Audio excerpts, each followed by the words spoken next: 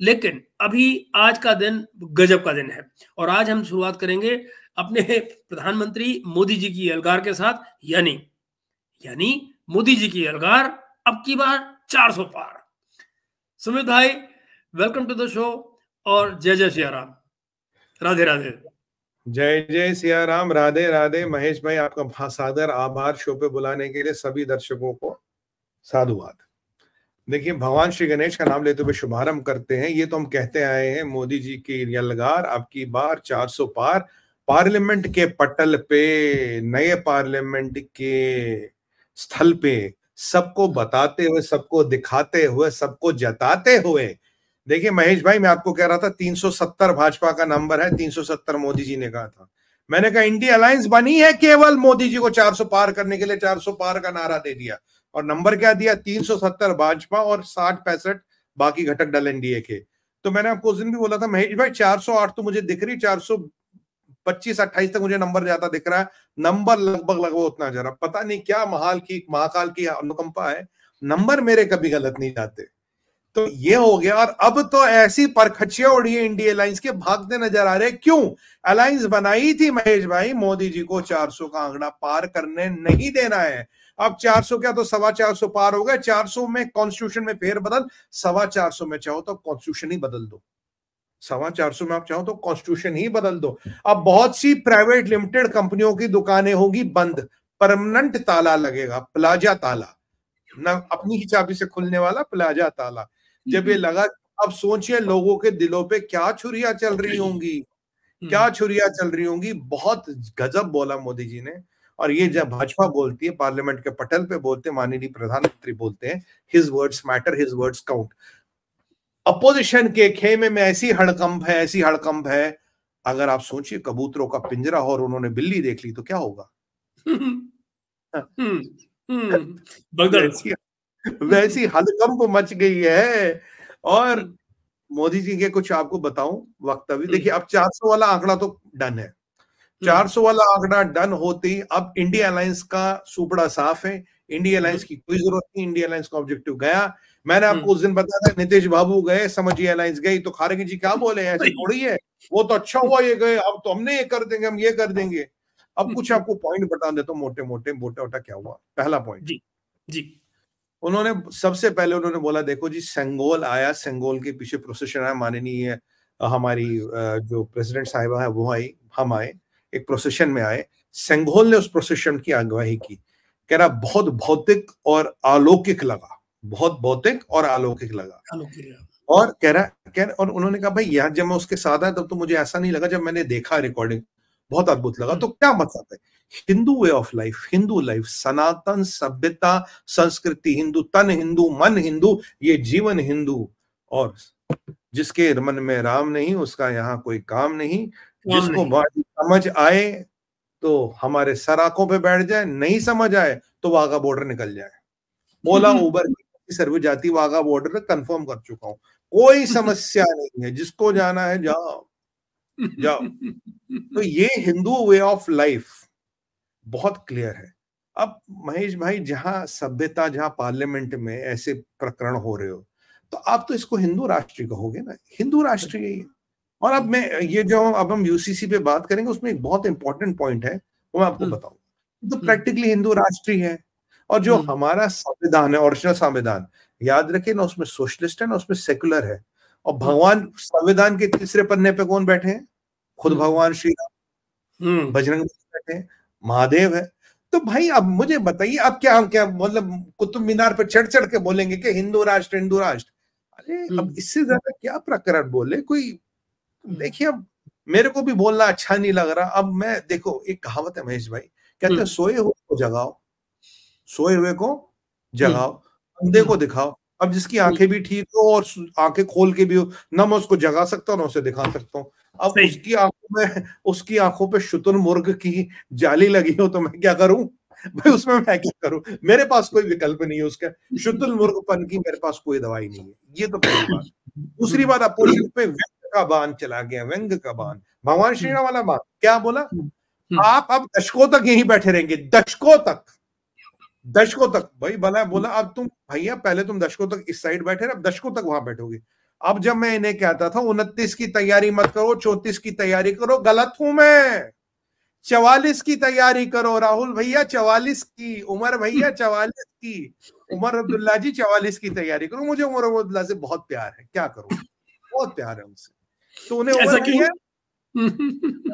मतलब इतने बड़े लीडर है क्या बात करें महेश भाई? देश के इतने बड़े लीडर इतने धग्गज लीडर आप कह रहे हो? क्यों है प्यार? मतलब देश नहीं चलेगा उनके बिना? क्या बात करें इतने बड़े लीडर है इतने बड़े खानदान से आते हैं। देखिए कम से कम चौवालीस तक तो वेट करना पड़ेगा। तो महेश भाई कुछ कुछ कोई ज़्यादा बात नहीं बीस एक साल है। प्रभु की इच्छा है। बीस साल कौन हम्म। होगा नहीं होगा? और ये तो अभी युवा है। ये सारे हम्म। नेता भी युवा है। समझ हम्म। रहे ना? युवा है। ये वाली बात। तीसरा काम उन्होंने कहा बोला जो कांग्रेस है ना कांग्रेस। इसने परिवार के प्रेम में पार्टी का ही भट्टाधार कर दिया पार्टी का ही सत्यानाश कर दिया।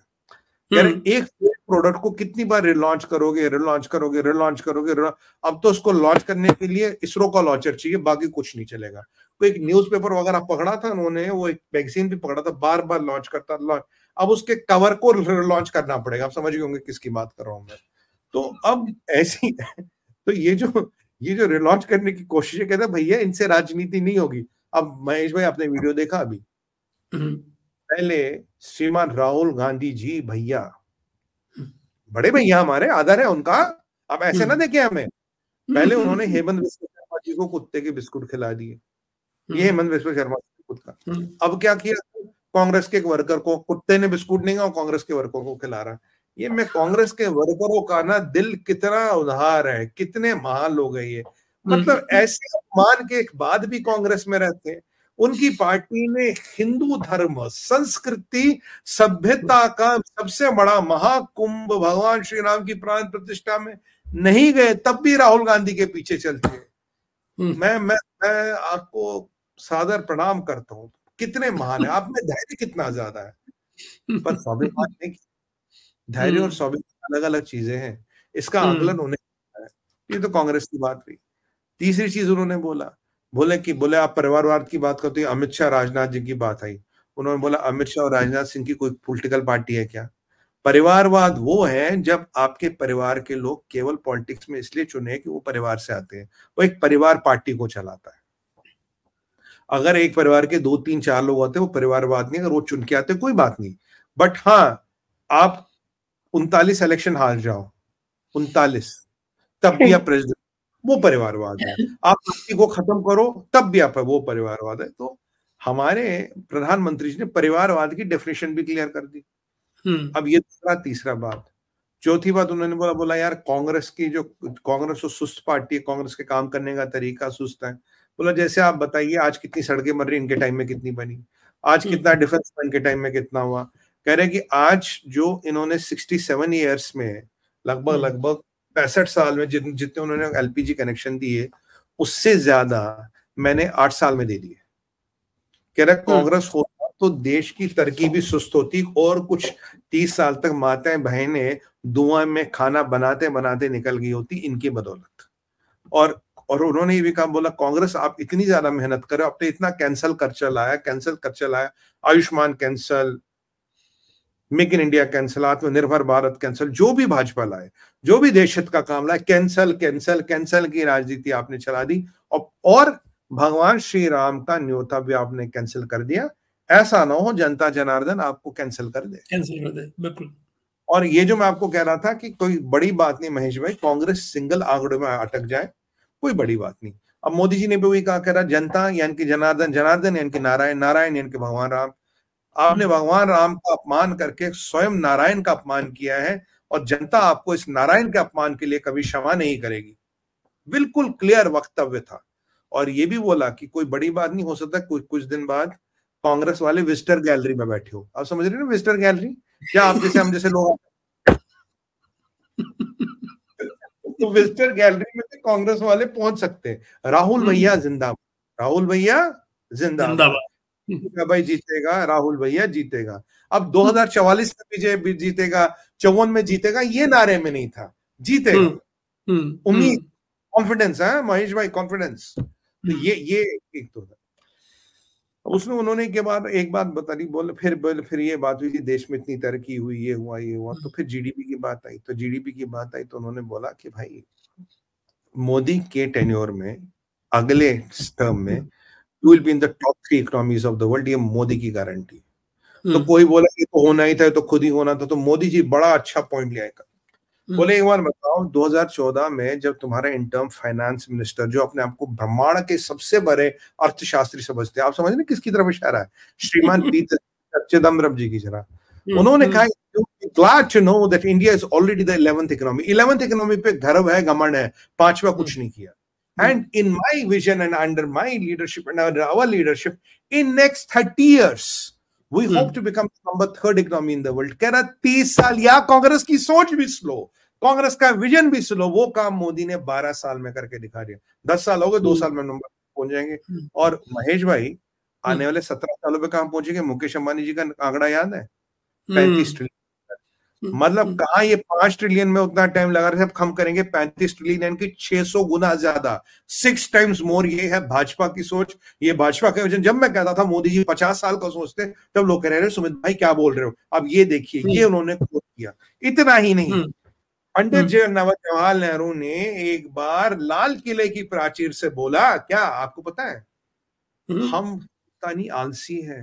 हम काम नहीं करना चाहते इसलिए अमेरिका यूरोप और रूस हमसे आगे है। एक बात बताइए मैं हर चीज़ मान लूँगा पर हिंदुस्तानी को आलसी कहोगे ना ये नहीं मानूँगा।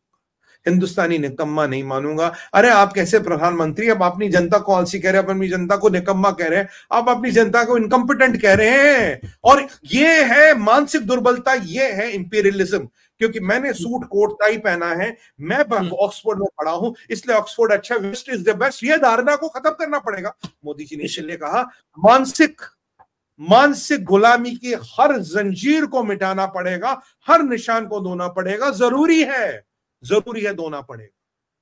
अब ये देखिए ये ये थे नेहरू जी उसके बाद आइए इंदिरा जी पे। इंदिरा जी क्या बोलती है? हम लोगों में सेल्फ कॉन्फिडेंस नहीं है। एक कहता आप आलसी हो दूसरा कहता सेल्फ कॉन्फिडेंस नहीं हो। और सोनिया जी और राहुल जी का तो आपको पता ही है राहुल और सोनिया जो राजीव जी ने क्या बोला? पंद्रह पैसे पूछते हैं बड़ा हम्म। पेड़ गिरता है धरती कांपती है। ठीक है जी? क्योंकि हम्म। विदेशी साले आइनस विक्रांत पे सेल वो साइकिल चलाते हैं स्कूबा डाइविंग हम्म। करते हैं। तो ये हम्म। ये सबको पता है। अब यहाँ से एक जो पॉलिटिशियन की छवि थी क्या थी और क्या हो गई? नेहरू जी ने इतनी इतने इतना इतनी हीन भावना रखते थे वो भारत के प्रति मुझे नहीं पता था। इंदिरा जी ऐसी हीन भावना रखती थी भारत के प्रति मुझे नहीं पता था। और मोदी ने एक और चीज़ बोली। बोले देखो भारत जहाँ पहुँचना पहुंचेगा आने हम्म। जब अगला टर्म आएगा इसमें आने वाले हज़ार सालों का नींव हम्म। रखी जाए। इसलिए हम्म। अगले टर्म आना ज़रूरी है मोदी जी का जीतना ज़रूरी है और बड़े बड़े लॉ लाएँगे बड़े बड़े अर्थ शैटरिंग फेरबदल किए जाएँगे और जो मैंने आपको बोला था मेरा अनुमान है अगस्त के आसपास आएँगे उन्होंने बोला जीतते ही लाएँगे। तो जुलाई अगस्त बात जो मेरी थी वही आप मान लीजिए उसी के आसपास आएँगे। तो भैया फेर बदल के लिए तैयार रहो अन्यथा ओला उबर संपर्क करो। तो सही। तो तो हम्म। ये और इंपॉर्टेंट चीज़। हम्म। जिसने देश को लूटा है उसको देश को लौटाना पड़ेगा। सीधी सीधी की। जिसने देश को लूटा उसको देश को लौटाना पड़ेगा। मैं हर एक से वापस लेके रहूँगा और हर एक घर करण अर्जुन जाएँगे करण अर्जुन आएँगे करण अर्जुन जाएँगे करण अर्जुन कौन है? एक ईडी और एक सीबीआई देखिए मैं हम्म। आपको महेश भाई शुरू से कह रहा हूँ ईडी सीबीआई क्या है? आपने समाज से पैसा लूटा। हम्म। हज़ारों करोड़ की मतलब अपनी हम्म। मिल्कियत बनाई। अब ईडी ने आप पे उसको जब्त कर ली तो समाज का पैसा समाज में वापस गया नहीं गया। देश का पैसा देश में वापस गया। अब किसी का पाँच पाँच सौ करोड़ का कैश मिल रहा है। अब मुझे बताइए लालू यादव के के दो हज़ार करोड़ की संपत्ति करीब करीब जब्त की गई है। अगर उस पूरे परिवार की तनख्वाह निकाले आज तक इसकी वन ट्वेंटी नहीं होगी। जब इतनी तनख्वाह मिली नहीं तो इतनी संपत्ति कहाँ से बनाई? ईडी ने कब ईडी ईडी ने जब्त कर ली तो क्या कर लिया? तुम कोई सेटन से तो लाए नहीं थे अब तुम तो ये भी नहीं कह सकते उज्बेकिस्तान से लाए थे। तो हम्म। यहीं पैदा हुए उज्बेकिस्तान से घोड़े पे तो आए नहीं बाबर की तरह कि उज्बेकिस्तान से लाया था। अब हम्म। अगर ईडी ने ले लिया तो तकलीफ़ का है? दिक्कत कहा भाई? ईडी हम्म। ने वही किया ना करना है। तो मतलब और दूसरी बात चोरों का महिमा मंडन करना छोड़ दो। भाई जिस नेता को अभिनेता को जिस नागरिक को कोर्ट ने चोर घोषित किया गया है उस चोरों का महिमा मंडल कर रहे हो उसको आदर्श बना रहे हो और यही युवाओं को दे रहे हो आगे। इसी हम्म। भारत की बात कर रहे हो युवाओं की। ये नहीं चलेगा। चोरों का महिमा मंडल बर्दाश्त नहीं है। आप समझ लो हम्म। इशारा